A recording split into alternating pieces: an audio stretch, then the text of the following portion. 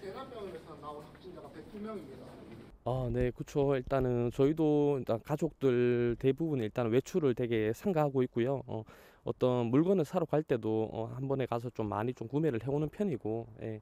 그리고 사실 밖에 나가는 게 좀 많이 꺼려지는 편입니다. 네. 어, 일단 사실 대구 주민으로서 일단 하루 자고 일어나면은 오늘도 기사를 보니까 123명이 자는 사이에 어, 더 추가 발생을 했더라고요. 네. 사실 한편으로 무섭기도 하면서 어, 일단 이러한 사태에 대해서 지역 사회 내에서 굉장히 많은 노력을 지금 하고 있는 것 같습니다. 어, 일단 뭐 저희가 뭐 버스를 타러 가는 가거나 좀 기차를 타러 가거나 하면은 역이나 버스 정류장에 어떤 손소독제라든지 어, 이런 것들이 지금 다 구비가 되어 있고 어, 그런 것들을 좀 사용을 좀 권장하도록 하는 도우미들도 지금 나와 있으면서 그렇게 지금 많은 노력을 하고 있는 것 같습니다. 네.